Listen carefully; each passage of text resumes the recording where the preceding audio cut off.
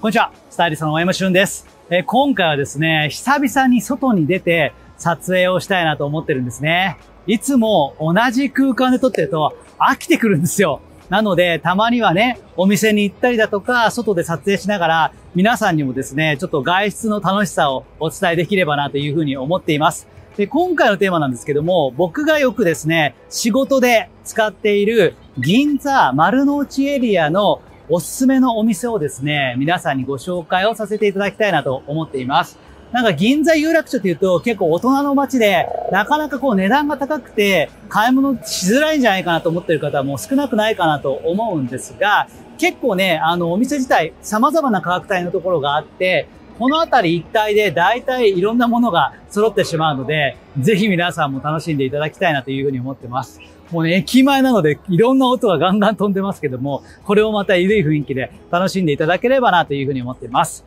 えっ、ー、と、というわけでね、まず最初にですね、え拠点というかスタートラインに立ってるのが、こちら、エストネーションの有楽町店の前なんですね。ここからスタートすると結構いろんなところが回りやすいので、今回は皆さんにですね、まずこのお店からご紹介したいと思います。今回も残念ながらお店の中に入ることができないんですね。外からで、えー、どういうお店の特徴があるのかっていうところ、皆さんにご紹介していくんですけども、またね、機会があったら、店内の撮影もできるようにですね、したいなと思うんですけども、エストネーションはどういった特徴があるかというと、えー、まあちょっとですね、大人向けのブランドショップになっていまして、価格帯は安くはないんですね。えー、エストネーションのオリジナルと、あとは様々な国内外のいろんなえブランドをですね、取り揃えた、まあ、セレクトショップという立ち位置なんですが、ちょっとこう、モード感があって、シャープなデザインのものが多いんですね。まあ、そのあたりが、えー、大人の男性に刺さって、結構ファンが多いのがエストネーションなんですね。いろんな場所に店舗があって、こちらの有楽町にもありますし、あとはもう代表的なのは、六本木ヒルズの中に入っているエストネーションですね。ここがも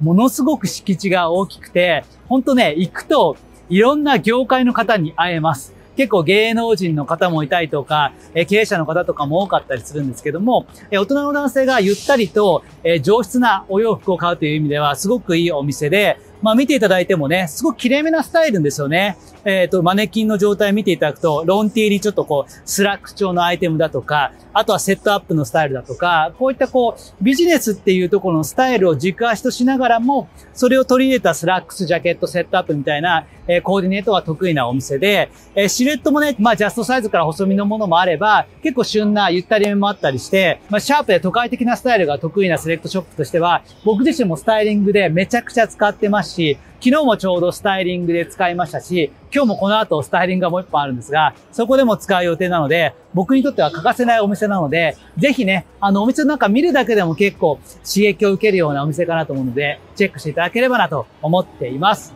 はい、ということで、じゃあちょっとね、いろいろお店回ってみましょうかね。はい。まずはこのエストネーションが、まあ、有楽町の駅前なんですね。えー、ここからスタートして、あとは、まあ、ちょっと向こうのね、え銀座の方面に行きたいなとは思うんですが、はい、ということで歩いていますが、え先ほどのね、有楽町の駅前からちょっとこう銀座方面に歩いて、見えてきたのはこちらね、大きい建物ですね、これ。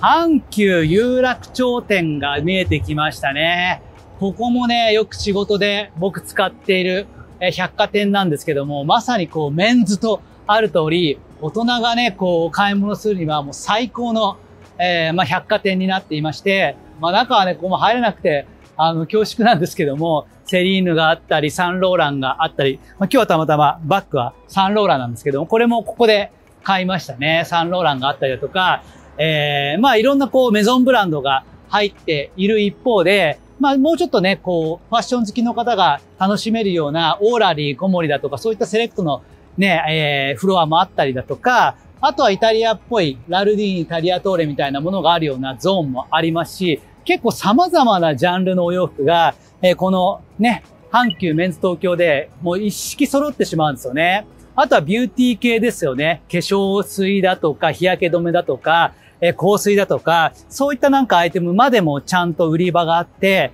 なんかここはね、大人の男性がこう、おしゃれを楽しむためには、間違いなく、あの、マストかなというお店かなというふうに思ってますね。お店側面もとても素敵で、この辺りでよくイベントなんかもやっていますが、プラダがあったりとかね。で、そこの入り口左手のところは、ポップアップでいろんなね、あのイベントやっていて、今はちょっとこうバック系のね、ブランドのこうポップアップやっていますが、本当このお店に来るといろんなものが見れますね。僕も大好きでよく来てるお店ですね。はい。で、一方で、こっち側がルミネになってるんですね。有楽町のルミネ。こっちになると、先ほどの半期よりはもう少し価格帯は落ち着いた雰囲気になりまして、えー、まあいろんなお店が入ってるんですが、1階にこうロンハーマンが入っていたりだとか、あとはね、えー、いろんなお店、ナノユニバースだとか、グリーンレーベルだとか、本当になんか僕が普段動画の中で上げてるショップがルミネの方に入ってるんですね。ちょっとあっちの方に移動してみましょうか。こっちがルミネ1っていう形で全部ね、上で繋がってるんですよ。阪急からルミネ1、ルミネ2っていう形で奥にあるんですけども、全部繋がってるんですけども、こちらですね。ここが、まあ、まあ、いわゆるロンハーマンですね。まあ、ロンハーマンっていうと、まあ、一時期すごくね、あの、人気あったブランドで、今でもすごくファンが多いのが、ロンハーマンっていうお店なんですけども、ちょっとこう、ジーンズだとか、古着だとか、そういったこう、アメリカンテイストのアイテムだとか、あとモード感のあるものもちょっと一部取り扱っていたりして、そのあたりも含めて、なんか大人の男性がカジュアル着を楽しむにはすごくいいのがロンハーマンですね。で、こちら見ていただくと、ルミネ2っていう風にあって、いろんなこのお店が入ってるんですけども、このルミネ2にね、僕はね、行くことがめちゃくちゃ多いです。よく動画に出てくるお店が一通り入っていまして、ユナイテッドアローズ、トゥモローランド、アーバンリサーチ、ビショップ、マーガレット・ハウエルだとか、そのあたりが入ってるんですね。まあ、せっかくなんで行ってみましょうか。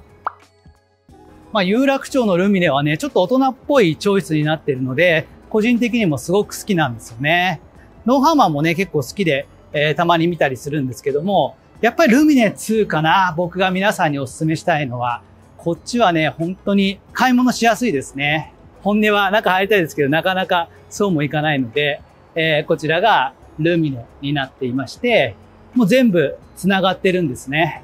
これを右に入ると、ルミネ2になってるんですけども、まだですね、開いていませんね。はい。こっちの方には、ユナイテッドアローズが2階にあって、ユナイテッドアローズがね、結構大きくて、ワンフロア全体で、えー、ユナイテッドアローズと、あとはビューティーユースも入っているので、一つのこうフロアで様々な商品を見ることができるんですね。オリジナルのアイテムもあれば、セレクト系もあったりするんですけども、まあ、特にこう、なんだろうな、セレクト系よりはオリジナルが多いので、結構僕ら世代には買い物しやすいのが有楽町店かなと思いますね。アローズとえ、ビューティーユースが一気に見れるというところで言うと、すごく買い物がしやすいのが、この有楽町のルミネなので、ぜひチェックしていただきたいですね。僕の大好きなアンルートというブランドとかも、えー、ユナイテッドアローズの中で取り扱いがあるので、すごくいいと思いますし、あとスティーブン・アランもそうですね。スティーブン・アランはビューティーユースと一角でやってたりするので、本当ね、ここに来ると大人の男性楽しめるようなアイテムが一挙に見れるかなと思いますし、そのユナイテッドアローズの上には、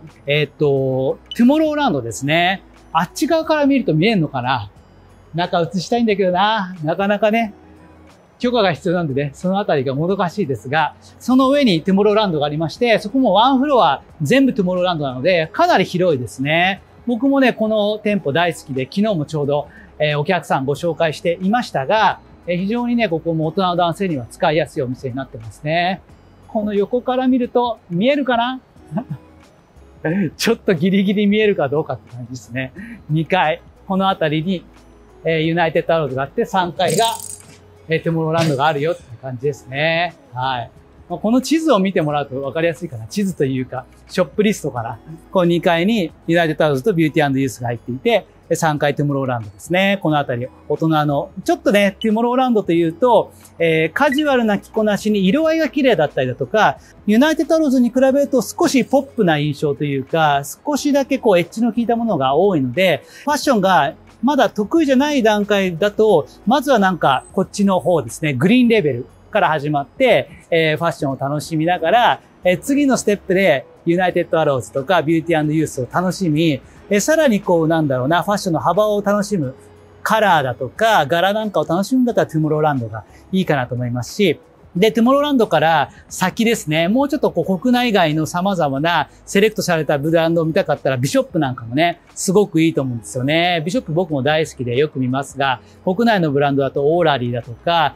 コモリだとか、あと、オーチバルだとかね、ダントンとかそのあたりを取り扱っているビショップもいいと思いますし、アーバンリサーチとか、最近できたステュディオスとかもね、ここもなんか国内の、えドメスティックブランドがね、多いショップで一通り楽しめるので、このね、ルミネ2が個人的にはすごくいいなと思うんですね。でルミネ2で買い物して、4階から連絡通路で、そのままグリーンレーベルになだれ込んで、そしてそこから下に行ってですね、アダム・エロペとナノユニバースを見るというところで、まあ、ここら辺になると価格帯もセレクショップの中では抑えめで、えー、ちょっとこう、今ね、リニューアルされたナノユニバースさんともね、すごく雰囲気が良くなって、僕もちょっと取材に行きたいなと思ってるので、ぜひ担当者の方見ていただいたらですね、えー、ご連絡させていただきたいなと思ってるんですけども、そういったお店が色々とあるという感じですね。まあ、そんな具合でルミネを楽しんでいただくことができるかなと思っております。そんな具合ですかね。あと D& デルガとかもね、僕はちょっとたまにね、奥さんにお土産を買っていくように使ったりしてますね。いろんな食材とかが取り扱っていて、すごく雰囲気いいですね。そしてだんだんこの有楽町から銀座の方向に歩いていくんですね。はい。ほんとね、いろんなお店があるので、一口に銀座有楽町といっても高いっていうイメージが強いかなと思うんですが、そんなことはないんですよね。本当にいろんなものがあります。有楽町からこう銀座エリアと歩いてきました。そしてこの目の前にね、ドンと現れたのが、ユニクロさんですね。これまた、大きいですよね。もともと僕ら世代だとこの辺りはプランタン銀座のイメージが強いかなと思うんですが、それが今ではもうユニクロがドーンと入っているんですね。まあ、ここはね、かなり大型店になっていて、ここに来れば一通りなんかアイテムが揃うかなと思っていまして、僕もよく来ます。銀座ってすごいのがユニクロここにもあって、あとはね、後ほど行きますが、6丁目の方にも大きい店舗があって、2つのね、えー、大々的なユニクロの店舗があるので、そこがね、さすが気合が入ってるなと思いますが、すごくね、店内も広くて、えー、メンズも女性ものもいろいろありますし、セオリーなんかもお店があったりするので、まあ一通りいろんなユニクロ周りのアイテムが揃うかなと思うんですね。まあ、ここではですね、僕は主に3階ですね。メンズは3階なので、そこでお買い物をしたりとか、え普段の動画の中で使うものをですね、ここで仕込んだりするんですね。僕の地元にあるようなユニクロさんとはまた違った雰囲気でかっこいいなという感じがしますね。はい。こちらにユニクロがあるんですが、そこからまたちょっと動いていきましょうか。すごいですね。なんかもうこの辺のディスプレイも、こんなでかいディスプレイあんま見たことないですよね。すごいな。JW アンダーソンのね、映像が流れていますが、まあこっちに行きつつですね。まあこの辺りもね、僕大好きでよく歩くんですよね。銀座地区になると本当に高いブランドもたくさんあるんですけども、ユニクロがあったりだとか、あんまり僕の動画の中では解説することがないんですが、逆側にあるのが、バナナリパブリックですね。バナリパってやつですね。まあ、ギャップ系列のお店なんですが、ここもね、大人向けのお洋服が得意なので、えー、僕もね、以前はよく使っていましたね。もう結構こう、サイズの展開が大きかったりするので、えー、大柄な方とかにはですね、合いやすいものが多いですし、結構大人の男性には使いやすいものが多いので、えー、バナリバもすごくいいんじゃないかなと思いますね。そしてここ渡りまして、こっちに行くとですね、うんと、ロフトが大きくドーンとあったりだとか、とその向かい側にね、ちょっと僕が普段スタイリングとかでもよく使ってるお店があるので、皆さんにご紹介したいなと思うんですね。ね、このロフトもね、すごく、まあいいんですけども、前はここの中にあの、いろいろとね、エディフィスが入ってたりだとか、デザインワークとかが入ってたりして、よく使ってたんですが、まあ、最近ちょっとなくなってしまって、ロフトになったので、えー、そんなにこう、お洋服を買いには来ないんですが、ここもいいですよね。で、僕がよく使ってるのはその向かい側にある、こっちですね。ABC マート、グランドステージってとこですね。ここはね、結構好きで、よくスタイリングでも使ってるんですね。で、ここはなんか ABC マートさんの中でも、かなりこう、なんだろうな、いろんなブランド、ナイキからニューバランスからアディダスから、もう本当にね、ここに行けばスニーカーすごくいいものが揃うので、何かスニーカー欲しいなと思った時にはぜひ訪れていただきたいなと思うお店ですね。在庫数も圧倒的に多いんですよ。なので、ここはおすすめですね。ほんとまあ、スニーカー系だけじゃなくて、ちょっとね、お仕事で使うような靴まで一通りあるので、このグランドステージはぜひ皆さんチェックしていただきたいですね。そして、向こう側ね、あの、ロフトさん、見えますかね ?1 階のところにですね、えっ、ー、と、植物屋さんがあるんですね。このね、植物屋さん大好きで、僕めちゃくちゃ行きますね。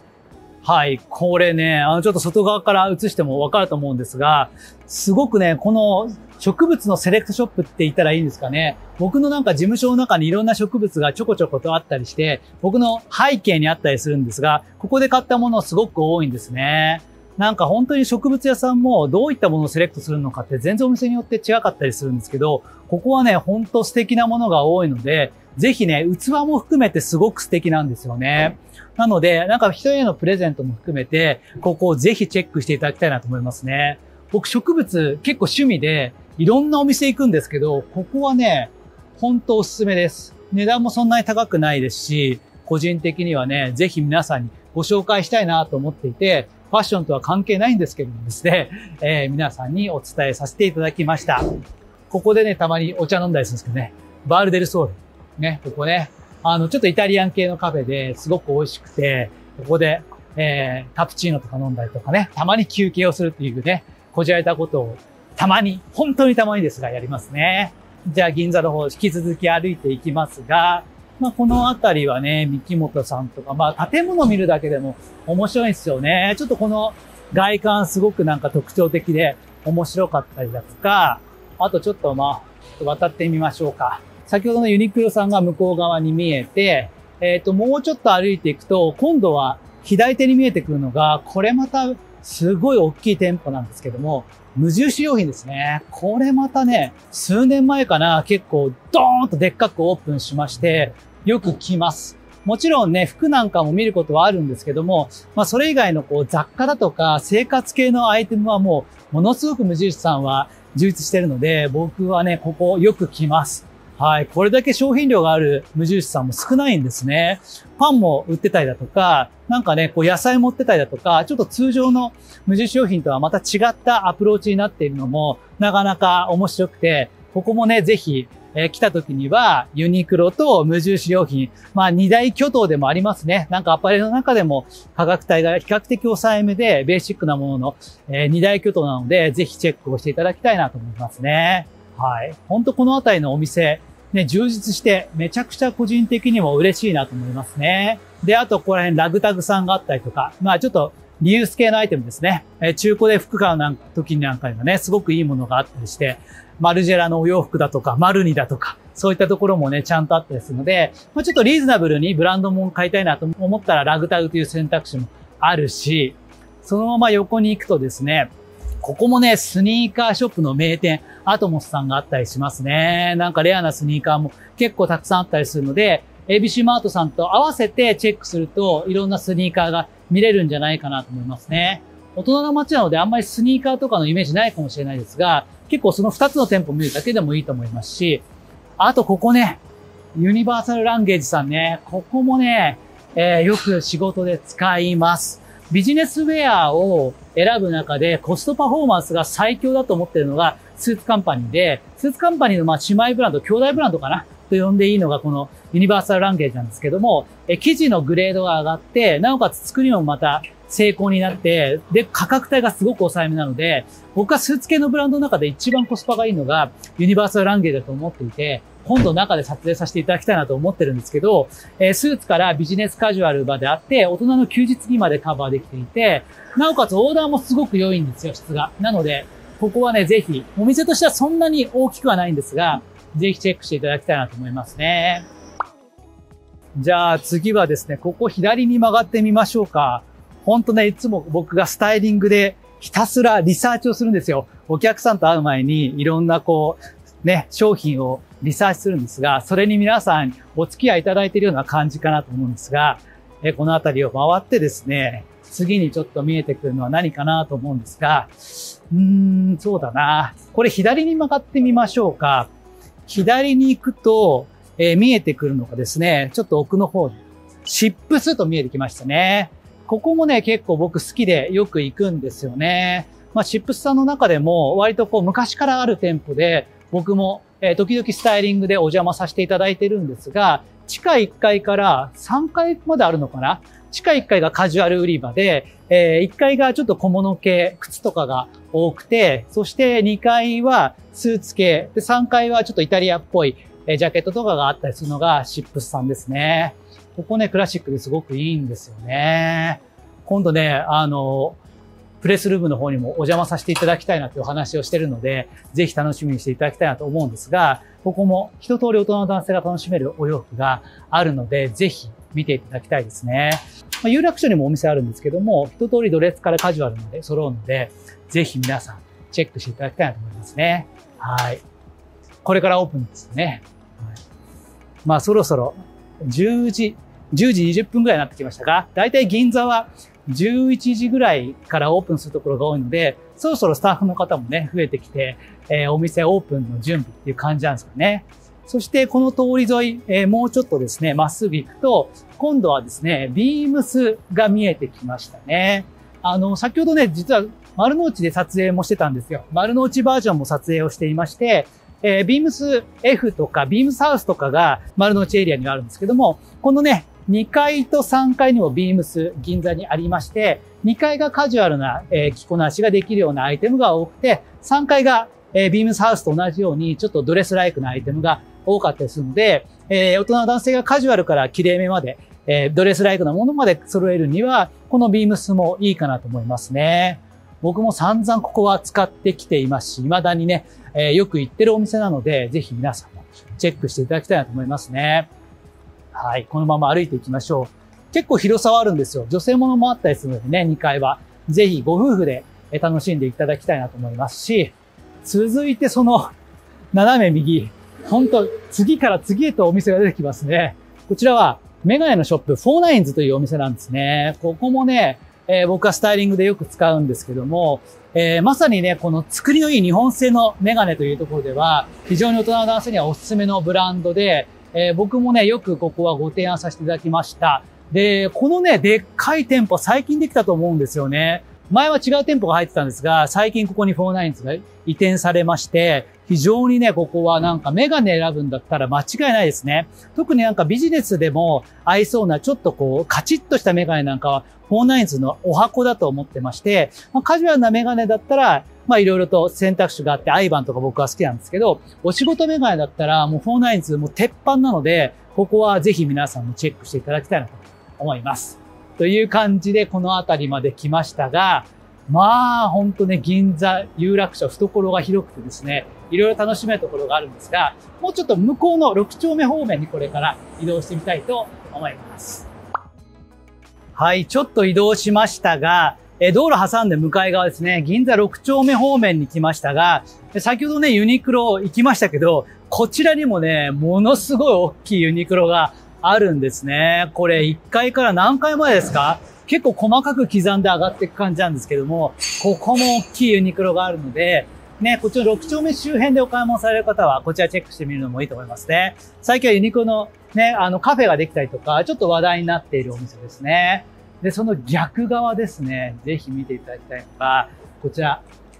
ドーバーストリートマーケット銀座っていうね、ここはですね、超絶おしゃれが好きな方向けの、えー、セレクトショップと言いますかね、コムデ・ギャルソンが運営している、まあ一つのこう業態なんですけども、ここはハイセンスですよ。キューピーちゃんめちゃくちゃでかいのがあったりとかね、向こうの奥の方には、ちょっと象のでかい模型があったりするんですけど、見れるかな？ちょっと見ちゃまずいかな？と思うので、この辺りしますが、ここは、えっと、本当にね、買うものがものすごくあるかっていうよりも、なんか感性を刺激されるすごくいいお店なので、えー、僕も定期的には訪れるようにしています。えー、コムデ・ギャルソンの服もそうですし、あと結構マッキントッシュが置いてあったりだとか、えっ、と、カラーという国内のブランドが置いてあったりだとか、結構好きなブランドもいくつかあって、マルタ・マルジェラ、メゾ・マルジェラとかもあったりするのが、このドーバーストリートなので、まあなんかこう、センスがね、めちゃくちゃ洗練されてる、えー、一つのね、複合施設なので、よかったら皆さんもね、頭の片隅に置いていただきたいなと思います。そしてそこから歩くこと、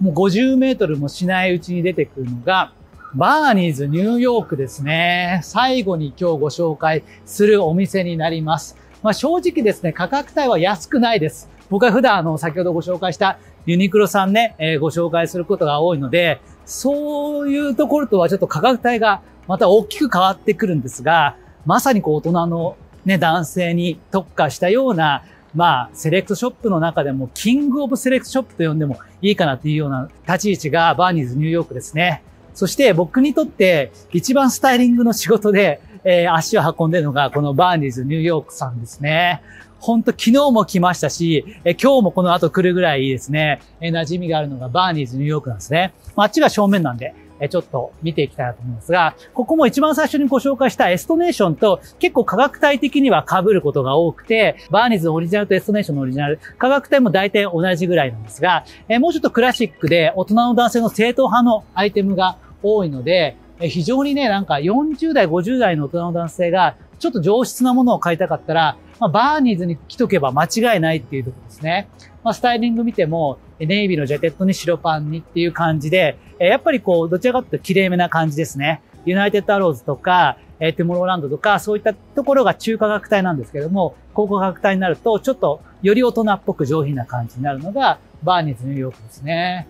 まあ、ここはね、すごいっすよ。広いです。この前 MB さん撮ってましたね。あの、ちょうど昨日か一昨日ぐらい撮ってて、いいなと思って、僕もちょっと撮らせてくださいよって交渉したいなと思うんですが、で、このあたりもね、ちょっとこういうレザーのジャケットにこうガラパンみたいなね、ちょっとこうディスプレイって結構持ったものが多かったりするんですが、こういう雰囲気のものもね、大人っぽくてかっこいいっすよね。ちょっとラグジュアリーな感じがするのがバーニーズニューヨークですね。まあ1階は結構ギフトなんかも多かったりして、ネクタイとか小物からえ、スキンケア用品だとか雑貨とかも置いてあって、僕はね、そのあたりを結構プレゼント用に買っていくことも多かったりするんですね。中はちょっと見れませんが、あとは、まあ、地下1階がメンズのメインフロアになっていまして、えここにはですね、本当にこう、えー、半分はちょっとモード感の漂うようなブランドがあって、もう半分はちょっとこう、ドレスライクなものですね、ジャケットとかイタリア系のブランドがあったりして、イタリア系からモードまでしっかりとカバーできるのが、